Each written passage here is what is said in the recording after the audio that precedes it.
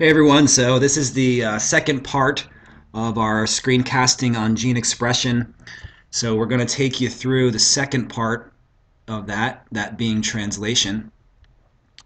And uh, you can see from this next slide that the second half of gene expression, so we've already gone from DNA uh, to RNA.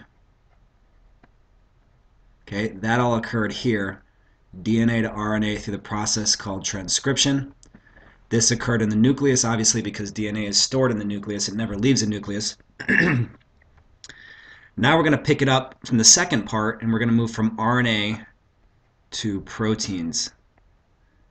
And proteins are really the end goal of gene expression. We're trying to make gene, uh, pr proteins, but to do that, we first have to go to RNA, and then for the second half, we once we have that RNA, we can actually go to proteins and make these uh, quintessential structures of the cell. Proteins do every every function of the cell, right? So they're the doers of the cell.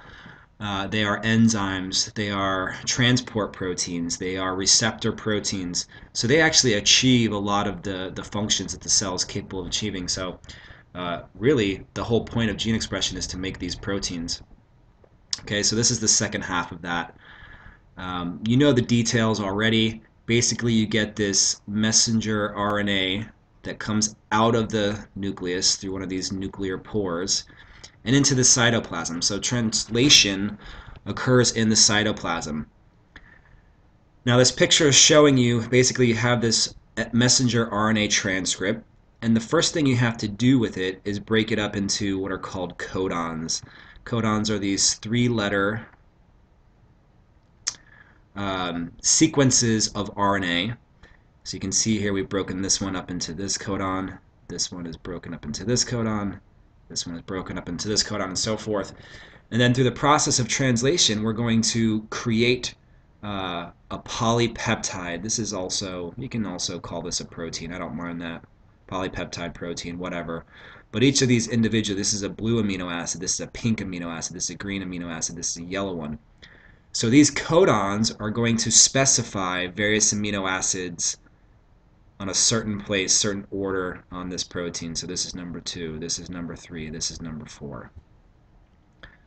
Okay, very important part of gene expression, very important part uh, uh, of being a cell, making proteins for the cell to do these various functions. So how does this work?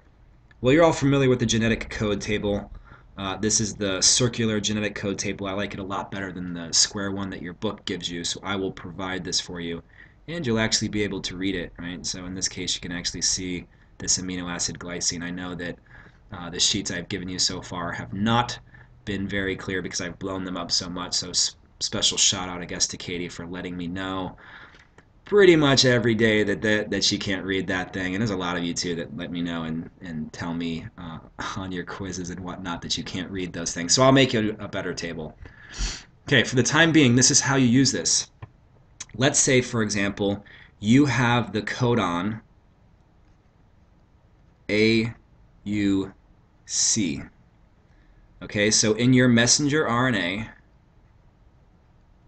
you have this three letter codon.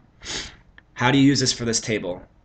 Well, the first thing you do is you start in this center structure right here. So here you get the larger letters, and this is where you're going to start. This first letter, A in this case, is right here. So really you know that you're going to just stay in this quadrant right here because we've identified A as the first letter of this codon. You go and you see the second letter is U, so then you find the U. Well, here's the U, so it's on this next layer, this next outer layer. It's a little bit smaller than that first layer. You find your U. So now we're down to a possibility of having methionine or isoleucine as our amino acid. You go and you see that you have a C here as the third letter in your codon, so you find the C, and here's the C right here. And lo and behold, it's in the isoleucine area. So this codon, AUC, specifies for the amino acid isoleucine. Okay, there are a number of amino acids on this table, right? So you can literally go through and see the various amino acids. They're on the outermost layers. So there's phenylalanine, leucine, serine, tyrosine. Uh, another spot for leucine. Boy, leucine must be pretty important.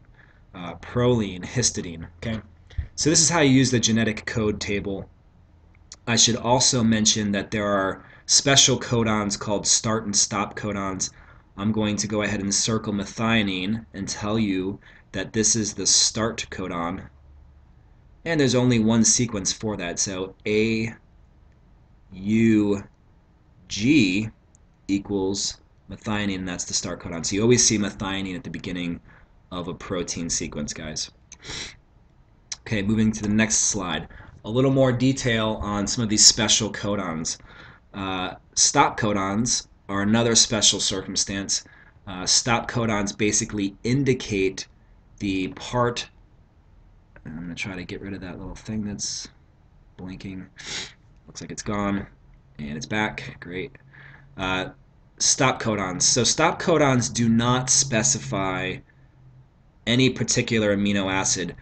Stop codons essentially act as punctuation for a sentence. So you know like in a sentence when you see a period that ends the sentence, well stop, stop codons do essentially the same thing. They're not adding any extra words, they're telling you that the sentence has basically ended. There are three stop codons in our genetic code. Uh, you can see here UAA is one, UAG is one, and UG a is 1. So there are three different ways to stop a sentence. You can kind of see that as a, um, a period, a question mark, and an exclamation point, perhaps. But they definitely end the end of an RNA, so they, best, they basically end production of a protein. They do not add one. So let me repeat that. For instance, if you get 12 codons in your messenger RNA sequence, chances are you're only going to get 11 amino acids. That is because that last stop codon does not specify an amino acid, so you don't get an amino acid from that. So that's another special circumstance of this genetic code table. So let's practice this. Let's put this together. Uh, I'm going to include a bonus round of transcription for you. So I'm giving you the DNA sequence here and uh, I want you to make the RNA, messen the messenger RNA from this DNA uh, sequence. So let me run through this with you. Uh, again, you can go through straight through this messenger RNA sequence and just put the complementary letter, right? So you can put A, you can put U, you can put G. For those of you that are struggling and for those of you that have a hard time keeping track of letters, uh, keeping track of order of letters. Maybe you flip letters around. Maybe you have a hard time with, with reading certain letters and putting certain letters. That's okay. You can still do this and still get a correct um, messenger RNA transcript. Let me show you a little trick to do that. You just handle each nucleotide independently. So for example, for the A's, you go through and you find all the A's and you put U's. Okay, there's nothing wrong with doing that. You can go through and do each letter first. This way you don't get kind of caught up. For each C, you would put a G.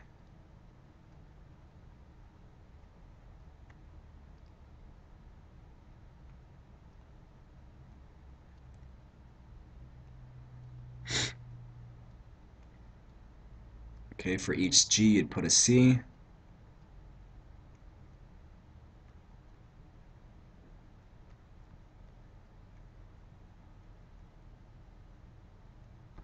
and then for each t you would put an A.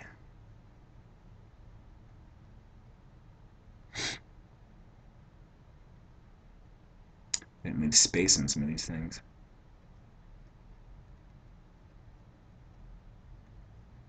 So you can see how easy it is for it to get messy, and this pen is not the, the most accurate in the wor world, but uh, that's okay. Okay, so I, I have here outlined the messenger RNA that we just made. So this is your DNA template shown here. This, starting from here over, is your messenger RNA. You use your messenger RNA to make amino acids using that genetic code table. So again, you break up this messenger RNA into codons. So I've kind of put some spaces in here for you to do that makes it a little easier to see. So pause this video and go through and use your genetic code table to translate these codons into amino acids. So do yourself a favor and actually stop it and actually do the work. And uh, when you come back, we'll give you the answers. Make sure you did it right. Okay, so what did we get here? Let me give you the answers here. This is methionine. This is leucine. I'm putting just the abbreviations here. This is proline. This is tyrosine. This is glycine. Uh, let's see here. Serine. Tyrosine again. Phenylalanine. Histidine. Arginine. Leucine. And stop. So you don't add an amino acid there. Okay, so you have one, two, three, four, five, six, seven, eight, nine, ten, eleven, twelve codons with 11 amino acids in the protein. Okay, so this is the general outline on how to do translation. It's very basic. Uh, in the next screencast, we're going to actually go into the details of how the process is done cellularly. So I wanted to introduce you to this cellular machinery that actually does this translation. So this is the overall process. This is how it's done.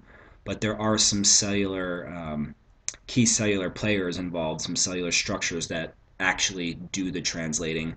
And so we'll walk through that in the next screencast. I hope this helped. Take care, guys.